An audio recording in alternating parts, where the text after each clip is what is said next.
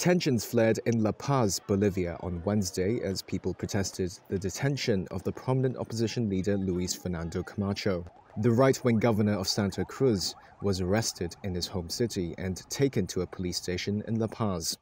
Camacho was detained on charges of terrorism, Bolivia's state attorney's office confirmed. His lawyer shared clips purportedly showing the moment of the governor's arrest. A passenger who was with Camacho recalled their vehicle being stopped by men dressed in black who smashed their windows in with the butts of their rifles. Amateur clips have emerged showing people clashing with staff at the airport in Santa Cruz and storming its runway in an apparent attempt to stop Camacho from being taken to another location. Protesters claimed their governor had been kidnapped. Local media footage showed security forces using tear gas on the streets of Santa Cruz. The Bolivian state attorney's office said Camacho's arrest was linked to the toppling of former leftist president Evo Morales in 2019.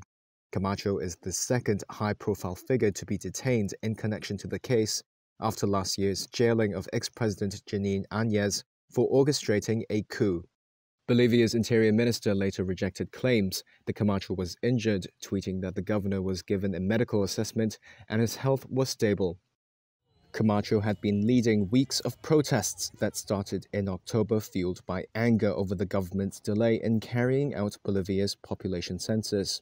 A new census would have seen Santa Cruz, which has long butted heads with rival city La Paz, securing more tax revenues and seats in Congress.